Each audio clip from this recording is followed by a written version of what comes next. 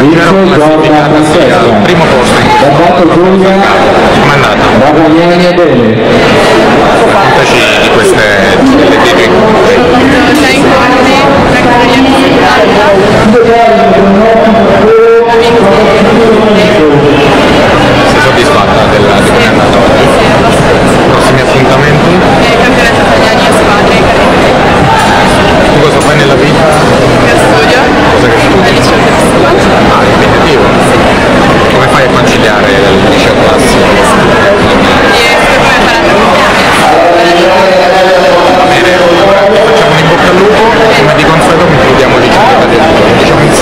Italia